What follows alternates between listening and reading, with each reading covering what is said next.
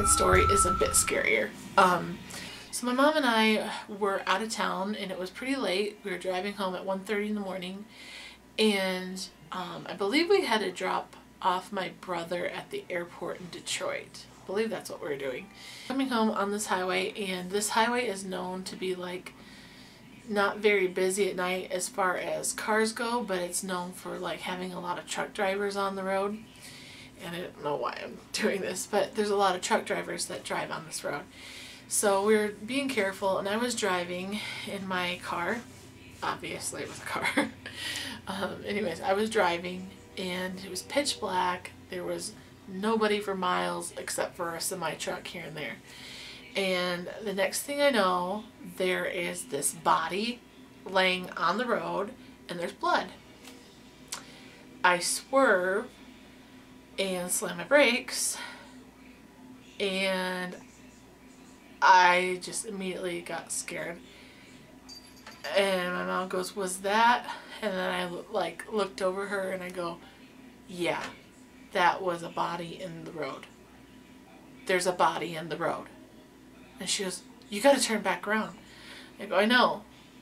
And so on my cell phone and I told my brother, I texted my brother what was going on because I wanted someone to know where we were at and what was going on. And then I, so I turned the car back around. I got on the phone with 911 and I told them what was going on, told them what mile marker I was at, and um, my mom was walking up to the guy while I was on the phone. I was outside of my car but she was the one that walked up to the guy because I was still pretty young. I was so she walked up to the guy and he was bloody but he was alive. And she said okay we have a cop. He's should be there any minute. And she got off the phone with me which looking back at it I always thought that 911 like stayed on the phone with you until the cops got there but she didn't I don't know why. But anyways so I got off the phone with her and then my brother called me. I'm on the phone with my brother standing by the car and this truck's driving by really slow, this pickup truck, and there's two guys in it. And they drive up to me and they said, did you see that guy? And I said, yeah. And he said, is he dead? And he didn't say it like, oh my gosh, is he dead? Are you okay? Do you guys need help?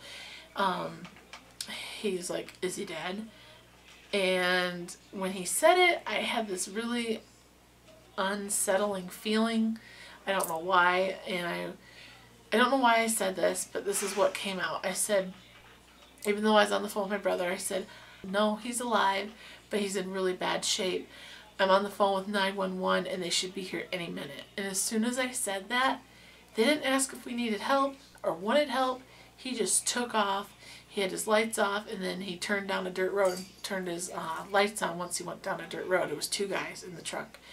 And they, I mean, what kind of guys leave two women stranded on the highway at 1.30 in the morning with a guy next to dead in the middle of the road? Pretty shady guys. And my brother was like, who was that? And I go, I don't know. He goes, he goes, you need to report them to the police. He goes, get their um, license plate. I'm like, Adam, it's too dark. They even have their lights on. I can't see anything.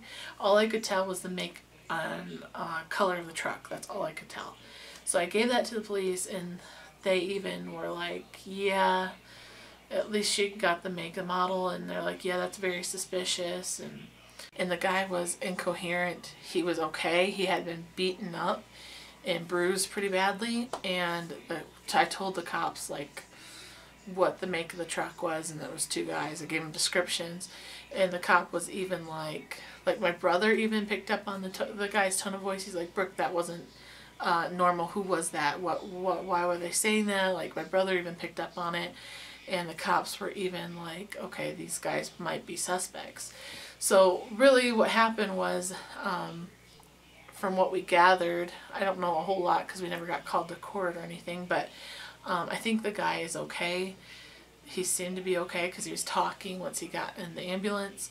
He, uh, he was talking once he got in the ambulance, but um, from what the cop was gathering was pretty much someone had beaten the crap, the living crap out of this guy, like beaten him to death pretty much. And they left him for dead in the middle of the road hoping a semi-truck would probably drive over him and finish him off. And I don't know if it was those guys that came up to me and asked that. It's probably a good suspicion that it probably was. Um, and if that guy lived, I'm sure he knows who beat him up and stuff. But it was really, really scary experience. It was something I will never forget. Like just driving down this highway, nobody there, and then all of a sudden there's a bloody body right in front of you and you're going 65 miles an hour. Um, it was a very unique experience to say the least. Um, and I'm really glad my mom was there with me because if she wasn't there, God only knows what would have happened. Um, what guys leave two women stranded in the middle of the night with a guy that's close to dead, bloody in the middle of the highway?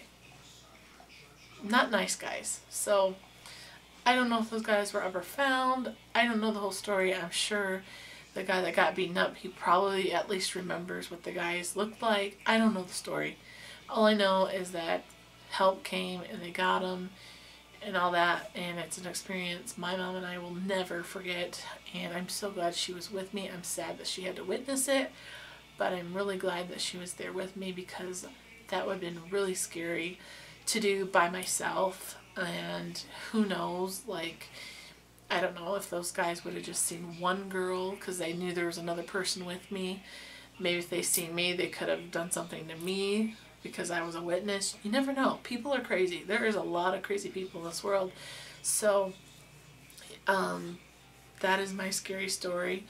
And I just want you guys to know, like, it's always good to be a good Samaritan and help people. Like, I am a firm believer in not sitting back and doing nothing. I don't. I'm a firm believer and I do not believe in sitting back and doing nothing. But I also really want to encourage you, especially if you're women, to be smart about things when you're helping people. Be wise when you're helping people out and be aware of your surroundings and always have 911 on speed dial because I mean they're just a call away. That's what the cops are there for. 911 is there for. So never hesitate to call 911 when you run into situations like that. You always need help and backup and just be careful be very careful and just aware of your surroundings. So that is this story time video. I hope you guys enjoyed this. If you like story time videos, give me a thumbs up or let me know in the comments down below and I'll do some more for you guys because I have a lot of stories that I could tell you guys. But um, anyways, thank you so much for watching guys and I'll see you in the next video. Take care and God bless. Bye.